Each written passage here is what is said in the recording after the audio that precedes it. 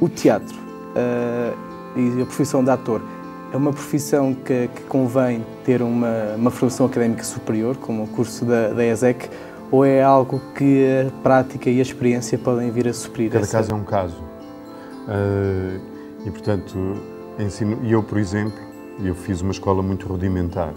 E, mas fiz uma escola, mas muito rudimentar, quando tinha 20 anos. E penso que me formei muito mais como ator ao ter de pesquisar coisas para transmitir, técnicas para transmitir aos alunos. Claro que, relativamente aos atores, há outras, há outras coisas que não se ensinam.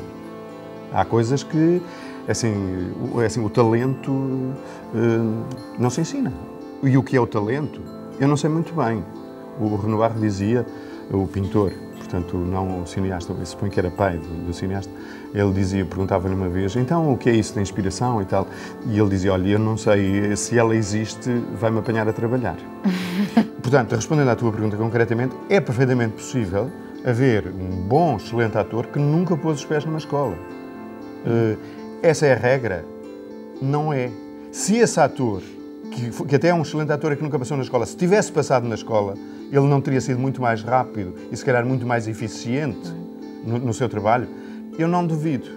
Mesmo, mesmo contando que a escola não dá talento, não sei o que, não sei o quê. Só que o talento, opa, há umas pessoas que sim.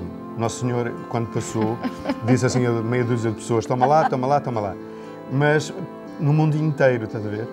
E portanto, quero dizer, aqui em Portugal, eventualmente ficou, opa, não me calhou a mim. A mim, de certeza que não me calhou sinceramente, opa, não conheço ninguém a quem tenha calhado. As pessoas todas que eu conheço são bons atores, trabalham imenso. E, mas por falar em talento, isso também é um critério para ingressar no, no curso? Algum, algum tipo de pré-requisitos? Sim, há um, pré-requisitos, mas que não têm a ver com, com talento. talento. nesse sentido. O talento, quer dizer, o que é isso? Não se, não se mete. Quer dizer, de, há um feeling. De apetências para, para, para, o teatro.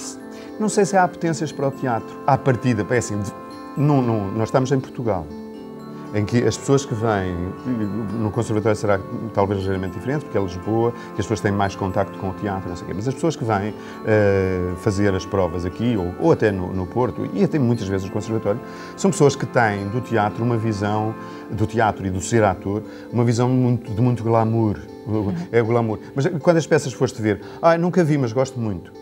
Uh, e quantas peças já leste? Ah, nunca li, mas gosto muito. Uhum. E quantos, uh, quantos, sei lá, é assim, portanto, as pessoas não têm, mesmo, parte logo da escola, quer dizer, as pessoas não têm o hábito, digamos assim, de, de, ir, de ir ao teatro, de ir ao teatro e de, de ver teatro e discutir teatro. Portanto, as pessoas aparecem muito virgens, entre aspas, relativamente à profissão. Portanto, vêm com uma, uma ideia do teatro que é, ai, sim gostava, ai, sim gostava de ser ator, não sei o quê. Mas mesmo isso, o ser ator, o que é?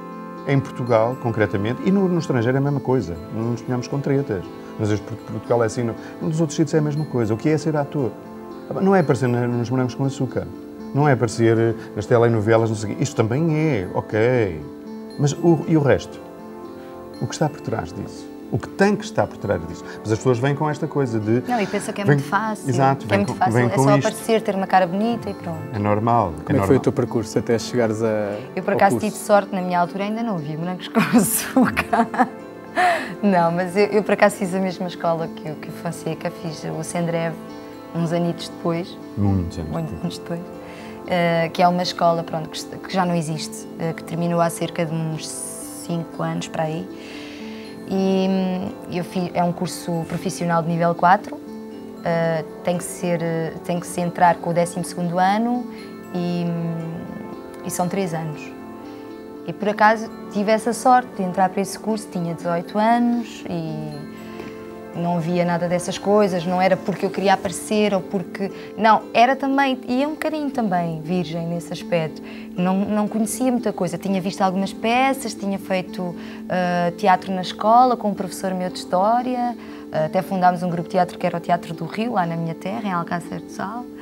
Mas pronto, era assim um contacto muito. Então já vieste mais. precoce. O que é que diriam a um jovem estudante que quisesse ingressar no, neste, neste curso? Que recomendações? Muitas vezes as pessoas perguntam-me e, e acha que eu devo ir para ator? Eu gostava muito, mas acha que eu devo? E eu digo, se achas que não podes fazer outra coisa, vai. Se podes fazer outra coisa, não vais. A pessoa tem que vir e tem, não, não venha à partida a pensar que é fácil, porque não é nada fácil este curso. não é nada fácil. E, mas também é muito gratificante no final. Eu acho que não sou a mesma pessoa desde que ingressei na ESEC, porque independentemente de já ser atriz, não sou a mesma pessoa. Modificou muito a minha maneira de pensar, a minha maneira de ver as coisas. E acho que acho que isso é fundamental, é pensar que não, a batalha não é fácil e quando sai daqui, muito menos fácil é, mas pelo menos é preciso gostar muito, eu acho. Fica aqui a mensagem. Obrigado aos dois por terem estado connosco. O curso de Teatro e Educação aqui na ESEC TV.